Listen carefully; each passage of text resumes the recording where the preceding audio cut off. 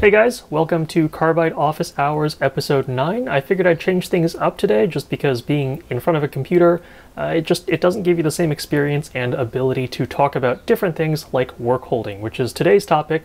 Uh, so I figured being in front of my CNC makes a lot makes it a lot easier to uh, describe what I'm talking about. So let's go over a couple different ways you can attach different materials to your CNC's bed. Um, so first up on the agenda is adhesive work holding, which is something I use a lot. Um, it, it's kind of a crutch for me, or I'm just lazy. Um, but you can get a bunch of different um, styles of double-sided tape. Um, these are three that I like. Um, there, you could also use like carpet tape or VHB foam tape. But I find that these uh, have maybe too strong of a bond and it can be really, really super annoying to try and pry pieces off your table if you use these. So stick with something that's that's more like a, it acts like a double-sided uh, masking tape. Um, and you could also use masking tape in conjunction with cyanoacrylate glue, crazy glue, CA glue.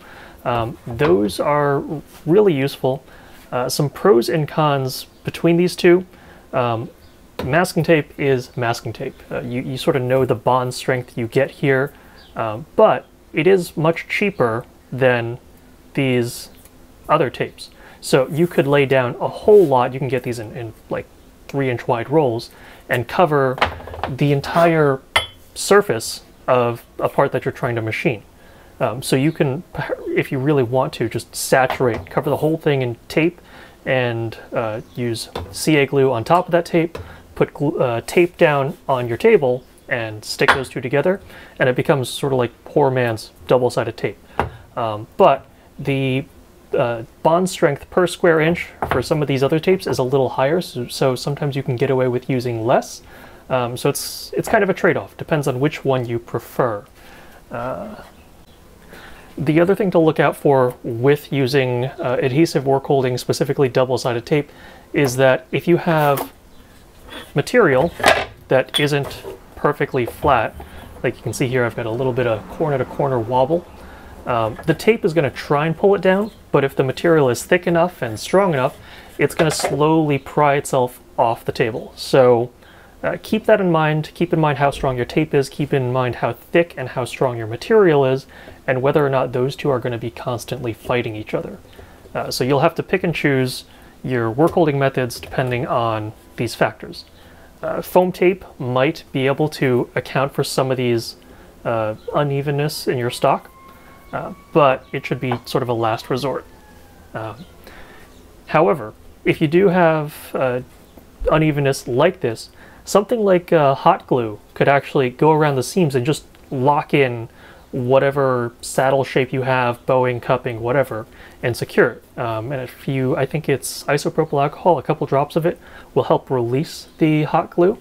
Um, so that is another option. Or uh, this is more applicable to non-porous materials, so not wood, but uh, plastic or metals. This is used a lot in the jewelry world, is uh, wax. So you can heat this up and then get a little puddle of molten wax going and then smush your material down in there. That'll lock it in place.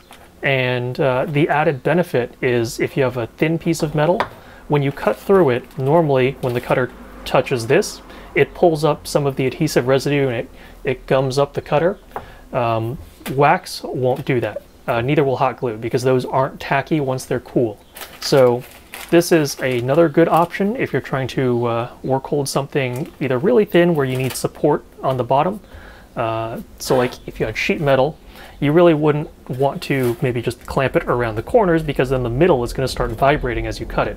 Um, so hot glue, wax, uh, really good for providing non-tacky uh, contact and adhesion everywhere along the bottom of a, a piece of material. All right, let's see. Oh, one more word of caution with any sort of uh, heat activated glue or wax is that if you're cutting something and you get your speeds and feeds wrong and you start building up heat, you're going to start to weaken that bond. So if, if this starts getting really hot to the touch, you can bet that whatever adhesive you're using on the bottom is also going to start to weaken as well. So keep an eye on your speeds and feeds. Make, make sure you're taking a good chip load. Um, watch the last Carbide office hours episode about uh, feeds and speeds. And uh, yeah, keep that in mind because this stuff will weaken with temperature. Uh, let's see, what's next? All right, let's get this out of the way.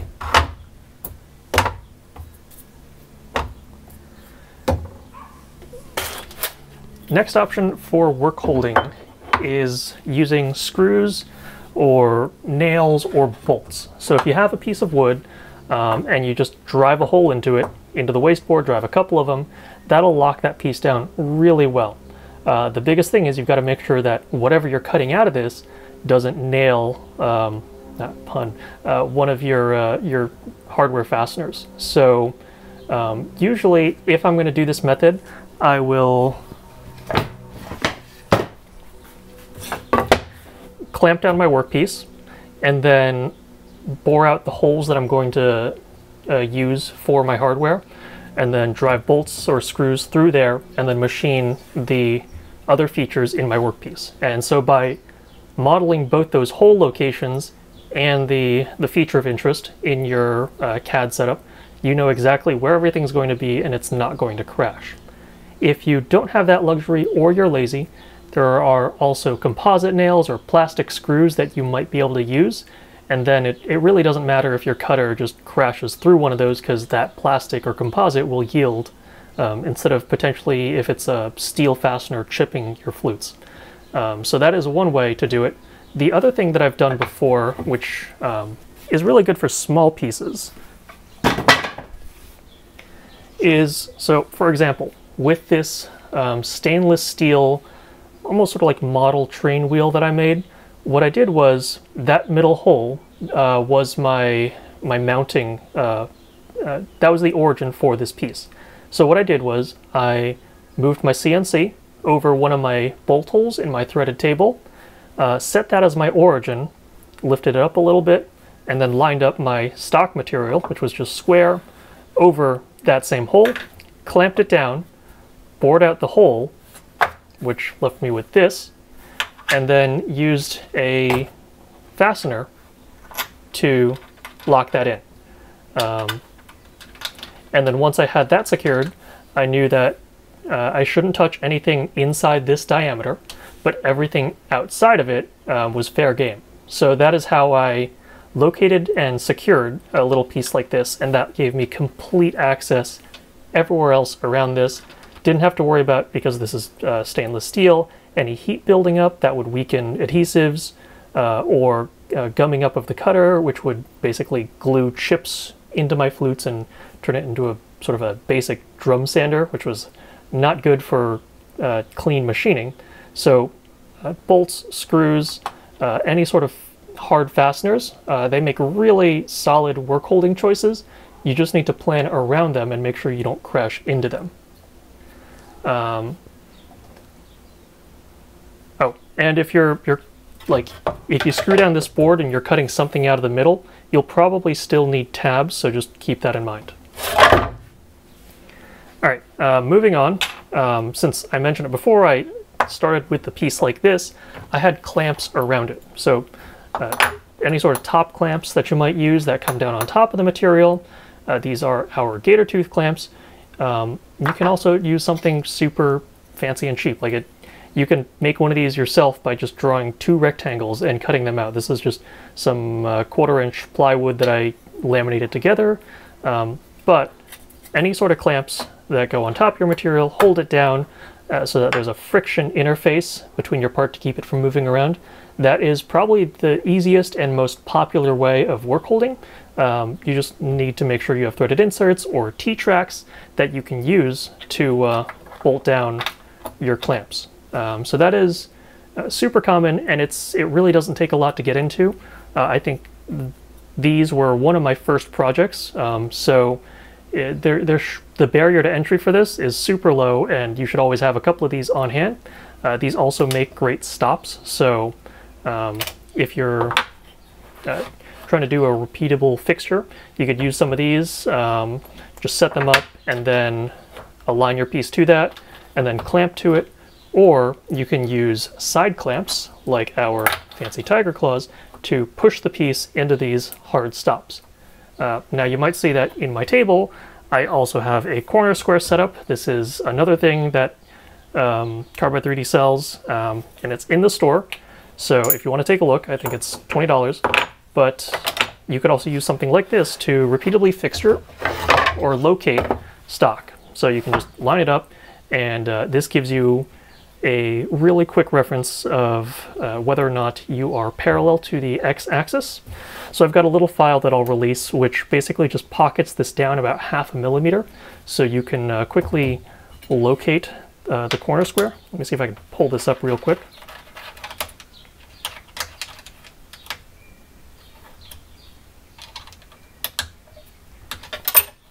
Oh gosh.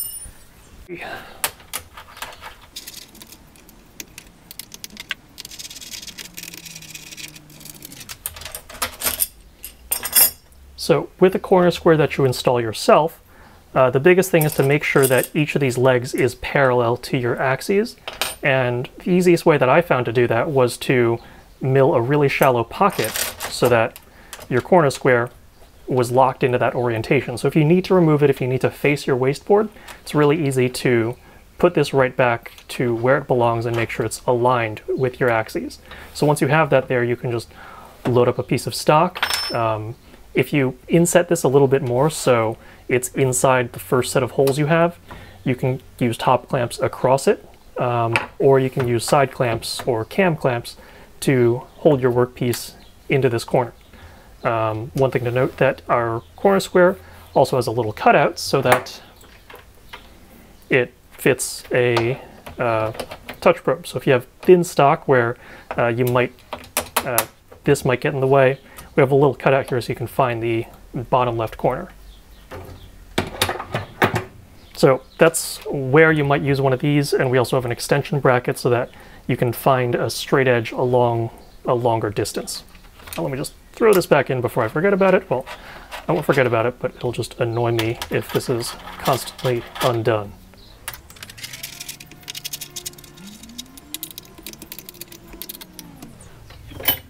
So that is clamping in a nutshell with some other permutations.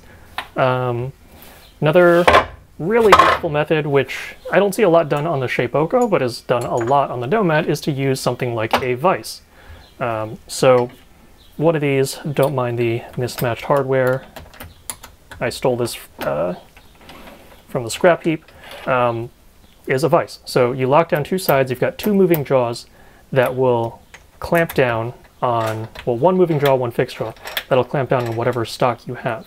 And this bolts down to your table, and it stays there, it's fixed, it's rigid, so you can take a uh, piece of material, stick it in there, maybe have a hard stop somewhere so that you can uh, index it in the same place. And for uh, repeat jobs, having something fixed to your bed where you just drop a piece of material in, lock it down, makes it really quick and easy to, to batch out parts. Um, and it's nice and rigid, it's secure, and you know everything's level.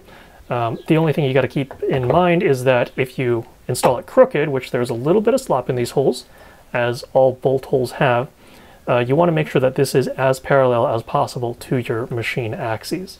So if you just clamp an indicator to your gantry and you just sweep it across one of these faces, you can sort of just uh, tap it with a hammer or something and just knock it straight. Um, so super useful, um, but thing to keep in mind is that with a vise, uh, you have limited access to the sides of your part. Uh, so a lot of times you'll have uh, parallels or just some sort of spacer to elevate your material so you get more side access. And uh, in, in a machinist environment, you'd probably flip it over once you have that done and then just machine away the bottom extra material. Uh, so vices, super handy, highly recommend, but you have to keep in mind of where it restricts your access to the part. Um, and then beyond this, um, if you had like maybe a round part or something that was difficult to hold, you could uh, tape MDF or plastic or something or, or screw them into the jaws and then machine out a circular pocket so that you have a clamping face that conforms to your workpiece uh, so those would be soft jaws. So that's that's one permutation you can make uh, with uh, a vise, um, or you could make a custom fixture. So uh, this is a vacuum fixture that I made for uh, a commissioned project. Basically, I had a, uh, a wooden hemisphere that I needed to hold down while I machine the outer contours. So I have just basically an HDPE plate uh, with some with a pocket in the middle and a piece of MDF that I bolt on top with a hole drilled into that uh, vacuum cavity. So um, air is drawn through that little hole until you get a vacuum underneath the dome. Uh, this would probably work better with an O-ring and if I sealed the edges, which I didn't because I was lazy, but um, a custom fixture like this or any bespoke work holding, um, if you're doing a very specific part or repeats, uh, can be super useful. So those are just some ways, but the, the most common ways that I've used to work hold uh, any piece.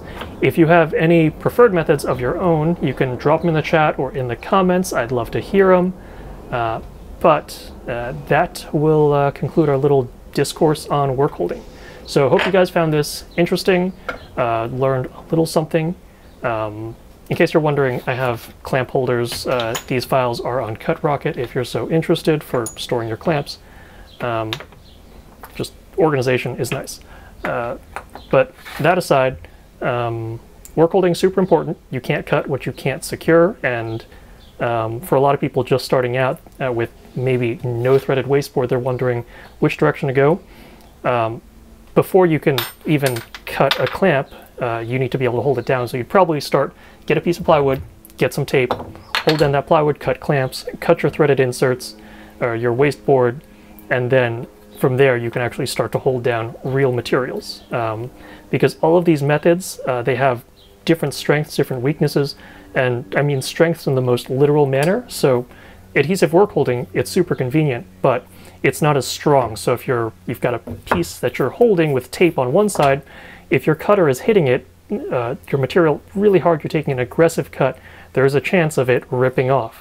So you need to tailor your tool paths for the work holding you have. If I'm bolting a part down, I'm a lot less worried about it. So all things to keep in mind, but uh, hope these tips help you out. Uh, good luck, have fun machining, and uh, stay safe, guys. Until next time.